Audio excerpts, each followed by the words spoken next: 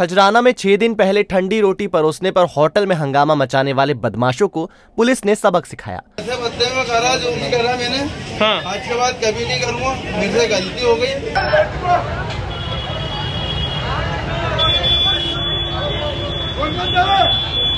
गुंडागर्दी करना पाप है पुलिस हमारी पाप है। अपराध नहीं करना किसी को भाई अपराध की सजा दे। सोमवार रात को बदमाशों को पुलिस उसी होटल खाना खजाना में लेकर पहुँची, जहाँ उन्होंने चाकू लहराए थे।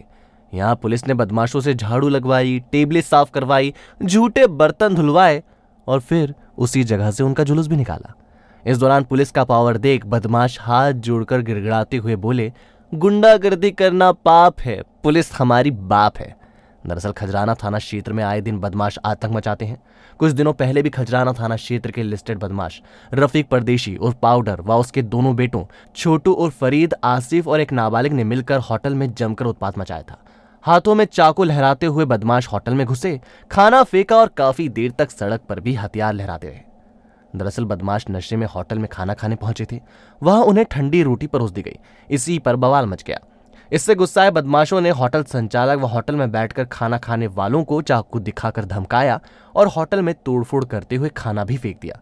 खजराना पुलिस ने हमला करने वाले तीनों बदमाश सहित नाबालिग को गिरफ़्तार कर पहले खजराना क्षेत्र में सोमवार देर रात जुलूस निकाला और उसके बाद जिस होटल में बदमाशों ने तोड़फोड़ कर खाना फेंका था, उसी होटल में ले जाकर टेबल, कुर्सियाँ साफ़ करवाई, झाड़ू लगवाई और बर्तन भी धुलवाए। पुलिस के मुताबिक जब रफीक और उसके बेटों को पुलिस पकड़ने गई तो वो भागने लगे। इस दौरान वे गिर गए और उनके हाथ पैर में चोट आई।